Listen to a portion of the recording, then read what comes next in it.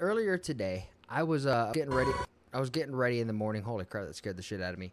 And I saw this video, and it absolutely infuriated me. Now, before we get too far into this video, I don't know where this helicopter comes from. There's a lot of land owned in the United States by China. It would not shock me, and I'm going to have to do a little bit of research to figure out hey, where does China own land in our United States government? Where do they own land? Is it by the farms?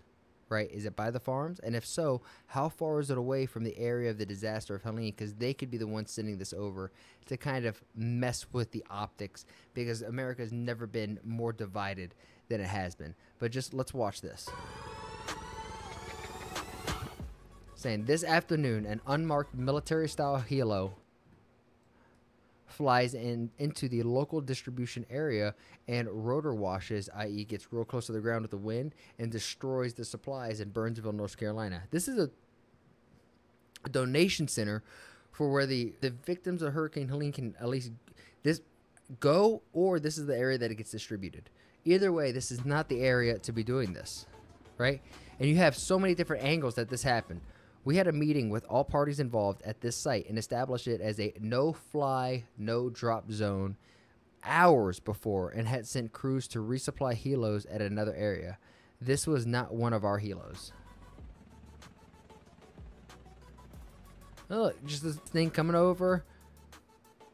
They flew in, hover around for a bit, looking like they wanted to land despite our signals telling them no. Then they dipped down and performed the rotor wash, which seemed deliberate, then flew off, destroying a lot of staging area and harming people directly blew them into the stage area. I was conducting a K9 security sweep across the parking lot. This helo was unmarked and we were able to zoom in and see masked persons. Who flies and unmarked helos like this, special forces or private contractors. Local PD came in and we've been trying to find and track their flight info, find out where they are, where they flew in from. Nothing. They're ghosts. 40 minutes prior to this, two unmarked black SUVs running blue lights rolled in, circled around, and immediately left.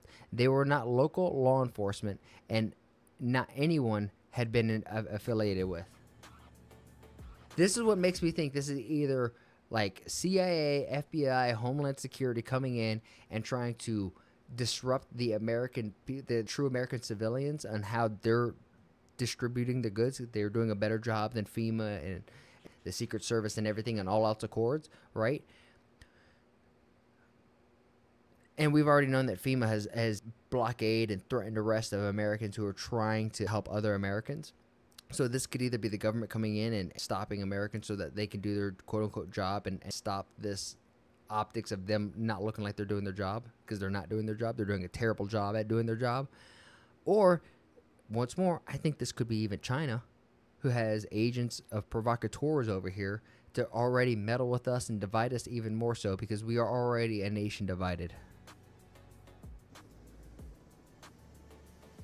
You can clearly see the supply setup, blue tints, and etc. I mean, this pissed me off. Right, this is the worst.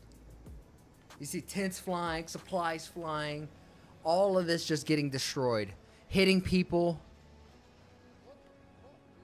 Yeah. Dude, a canopy, a metal canopy coming around and flinging around, and you're bent over and you look around and that thing smacks you across the face. You could be done. If you're a weak person, Look, it does this. It destroys this whole area and it flies away. So where are they? Why did they do this? Popped up on my timeline this morning. You know, and thank God for an app called like Twitter. Thank God for an app like Twitter for people who could literally just record this shit, post it up, and be like, yo, what the ever living hell is going on here? For those in my previous video saying I'm spreading lies, this is the reality of what's happening in areas across North Carolina. I'm seeing it with my own eyes. This is the issue when you have like KJP, which is the vice president or the president's spokesperson, who say when stuff like this happens, you're spreading misinformation. You're spreading lies. That is a dangerous question. What you're asking is dangerous. What is it dangerous to? Your establishment, the World Federal Organization, the WEF, World Economic Forum, Economic Forum? Like, what is the who? Is we? Who are the American people really against? Right? Because it's our politicians on our bureaucrats, and they are not American. Pelosi, AOC, the president, Harris, all of these people are not true Americans. They wear the banner, they try to take all the good things from it, but they are the worst people. They are scum on this earth. And these people are so confused. Like, if I- I don't understand, if this doesn't infuriate you, I don't mm. know what does. Look what they did. Look what that helicopter. Oh my Look at God. that. Look what they did. Look what they did. Look what that helicopter did. Ah, come on. You see what I mean? Like, look, you have so many different people who posting this all online, all different angles. This guy looks like a guy I play paintball with. He's coming down. How does this not infuriate you? What is going on? You have people saying over here, yo, get out of here, leave, get. You have, oh. All of this is just so infuriating. They don't like it when we work together. We realize they don't need us and that we can't have it. I, I know. I know. I see it over here.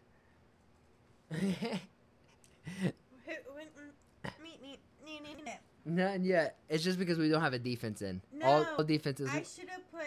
Where's where mine? This one? Hmm? I should have put Kamara as my top one. I was like, it's either Patty or Kamara. It's, it's